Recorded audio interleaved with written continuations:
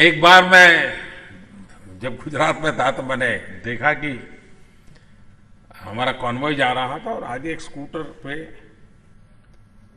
बड़ा जो ट्रैक्टर का ट्यूब होता है, वो पूरा अंदर भरा हुआ है वो लेकर के जा रहा था। आप कल्पना कर सकते स्कूटर पे इतना बड़ा ट्रैक्टर का ट्यूब कोई लेके जा रहा है तो पीछे आने वाले व्हीकल को डर लगता है, कहीं टकरा न जाए। मैं भी हैरान था कि ऐसे कैसे ले जा रहा है।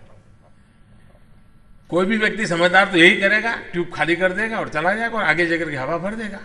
तो ले जा रहा था। मैं यार रोक के उसको।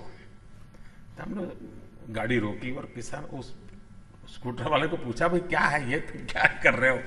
कहीं गिर जाओगे, चोट लग जाएगी, मर जाओगे? नहीं, बोले, खेत जाना है। तो मैंने कहा ये क्यों ले जा रहे हो? तो बोले, मेरे घर में जो घर के किचन का कूड़ा कचरा निकलता है वो, और मेरे पास दो पशु हैं, उसका जो गोबर निकलता है तो मैंने अपने घर में ही एक छोटा सा गैस का प्लांट बनाया हुआ है।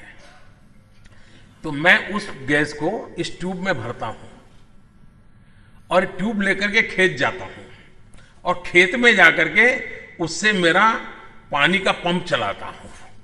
आप कल्पना कीजिए हमारे देश का किसान।